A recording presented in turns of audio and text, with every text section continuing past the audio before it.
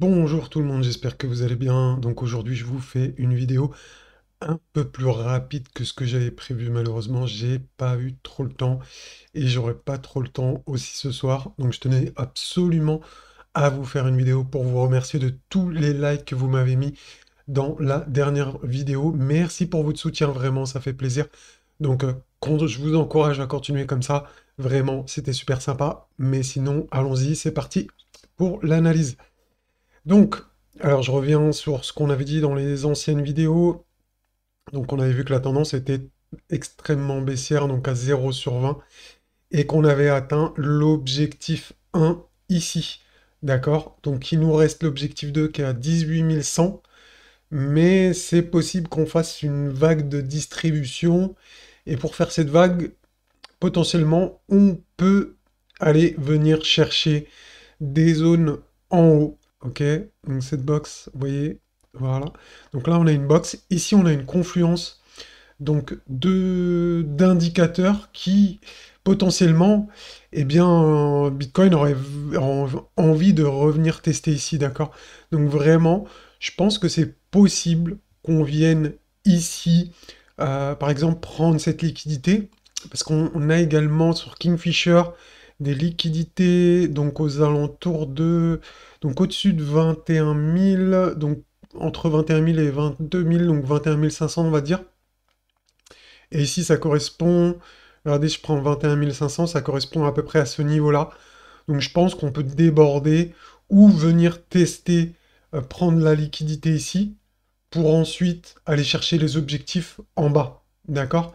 Donc euh, je vous schématise ça par exemple quelque chose comme ça, et ici faire un petit M de retournement pour aller chercher les objectifs beaucoup plus bas. D'accord? Donc ça, c'est faisable. Euh, pour l'instant, c'est pas, pas écrit hein, dans la charte. Bien évidemment, on peut avoir de la continuation baissière vers les objectifs, parce qu'on avait un setup, mais il, il, met du temps à se mettre en place. Donc moi, quand c'est comme ça, j'ai potentiellement... Enfin, j'ai tendance à sécuriser mes positions rapidement, mettre mon stop ABE, prendre du profit, etc. D'accord? Donc, très important à, faire attention ici. Hein.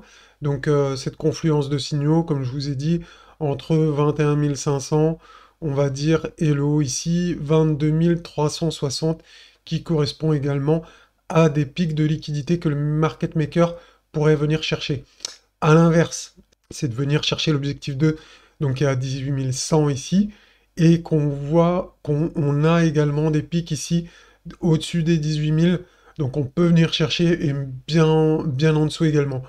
Mais je, mon petit doigt, j'ai un petit pressentiment qu'on va pas laisser ce pic avant de baisser. Ça j'en suis pas sûr, c'est plus un feeling euh, euh, qu'une analyse, mais euh, bon, laisser ce pic là, faire gagner tout ce qu'on shortait, sans venir les liquider. Je sais pas, j'ai un, doute quand même, j'ai un doute. Euh, en tout cas, après, au niveau stratégie, c'est vrai que c'est possible de mettre un stop ici. Si, vous êtes en short et que vous estimez que, bah, que ça va continuer au sud, pourquoi pas mettre un short là Parce que ça peut revenir ici dans cette box bleue avant de se retourner à la baisse ou de sécuriser ses profits d'une manière ou d'une autre. Donc euh, voilà pour le Bitcoin euh, donc plutôt à moyen terme ici. On voit juste le check également à court terme. Donc à court terme, qu'est-ce qu'on voit? Donc ça, c'est quand je dis à court terme, c'est en très court terme, c'est vraiment en day trading. je le fais de temps en temps. Euh, bon, là, on est en train de dépasser cette zone de confluence ici. Donc faut faire attention. On peut revenir checker ici, euh, donc au niveau de ces résistances. D'ailleurs, c'est ce, que ce, ce qui est en train de se passer en direct pendant que je tourne la vidéo.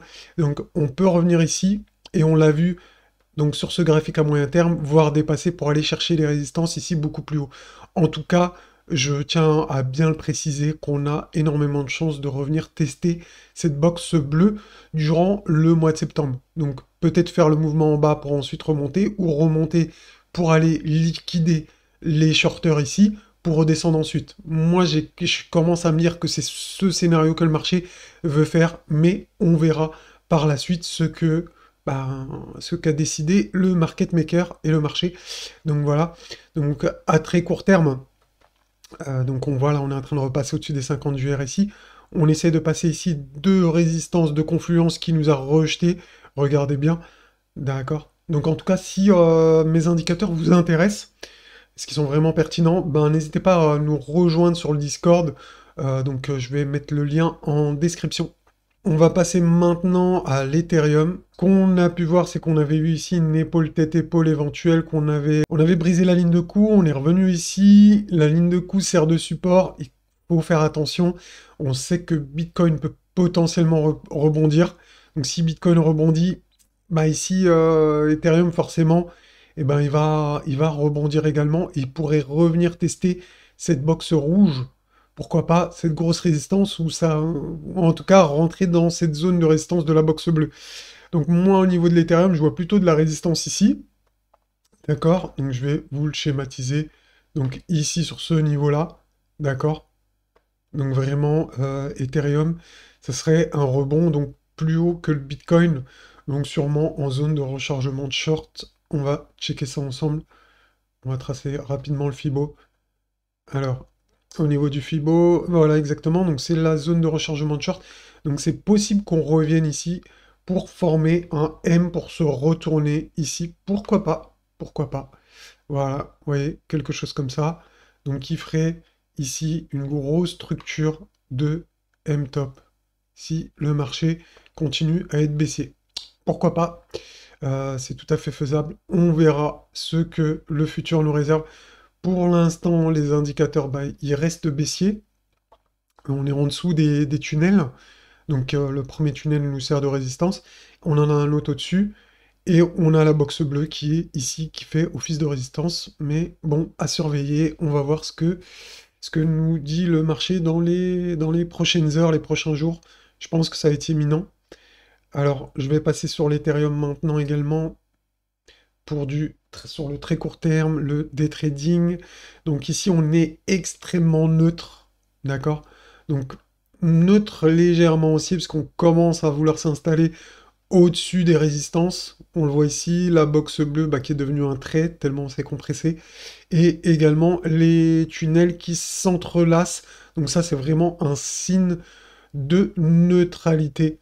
Donc euh, pourquoi pas, après une période baissière, on peut se retourner ici, ou pas. En tout cas, on est extrêmement neutre à court terme, mais vigilance, vigilance. Si vous êtes en short, moi personnellement, je vous dis ce que j'ai fait, c'est que j'ai mis mes stops ABE, j'ai pris un petit peu de profit.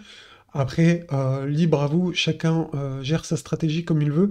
Moi, en tout cas, je vais être sur la défensive parce que je vous l'ai dit, le Bitcoin risque de rebondir c'est probable, en tout cas, mettez des stops, je vous invite fortement à pas vous faire prendre à revers par le marché.